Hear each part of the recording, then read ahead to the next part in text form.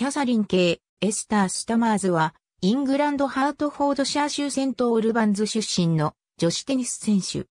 1939年のウィンブルドン選手権、女子シングルス準優勝者。ダブルスでは1935年1936年のウィンブルドン選手権女子ダブルスに連覇に加えて、1935年の全仏選手権女子ダブルス優勝もある。全米選手権でも1935年に混合ダブルス準優勝を記録した。現役時代は映画スターのような容姿とスタイルで高い人気を持っていた。左利きの選手で流麗なスタイルのフォアハンドストロークを得意にした。ケイスタマーズはセントアルバンズの自宅にあった芝生コートで家族と一緒にテニスを学び、1931年に17歳でウィンブルドン選手権に出場し始めた。たちまち、スタマーズは映画スターのような容姿とスタイルでマスコミの人気者になり、多数の新聞から賞賛を集めるようになった。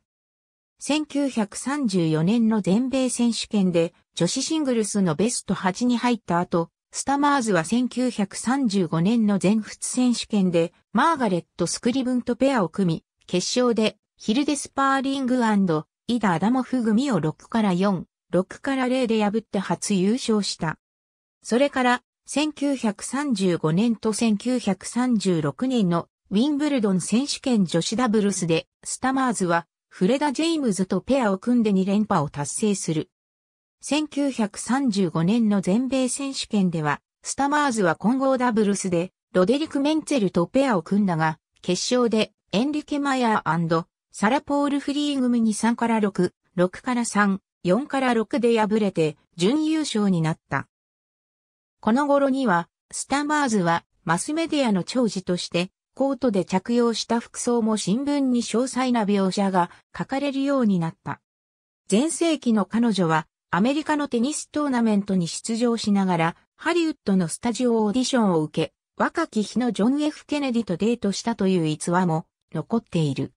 1939年のウィンブルドン選手権でスタマーズはついに女子シングルス決勝進出を果たす。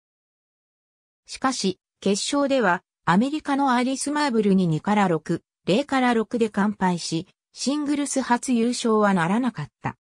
この年に第二次世界大戦が勃発し、ウィンブルドン選手権も1940年から1945年まで開催中止を余儀なくされる。終戦後のウィンブルドン選手権で、スタマーズは1946年と1947年に2年連続で女子シングルスのベスト8と女子ダブルス準決勝に勝ち進んだ。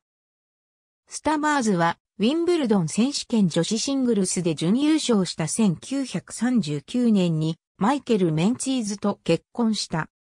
後に、夫が、投資銀行のヒル・サミュエル社長に任じられたため、夫婦でアメリカ・ニューヨークへ引っ越したが、1975年にメンツィーズと離婚し、アメリカのテニスサーキットで知り合ったトーマス・ブリットと再婚した。